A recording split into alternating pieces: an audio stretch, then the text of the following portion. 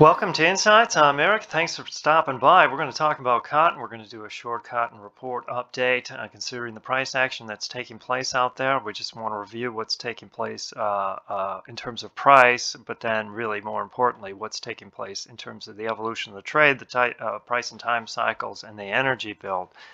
It's easy to forget one as you focus on price, and right now we've moved from exuberance to depression over a short period of time as as the weak hands really were cast out of the trend based on the idea that recession is going to eliminate the use of cotton i guess. I mean it doesn't really matter what the ideas are they just do it.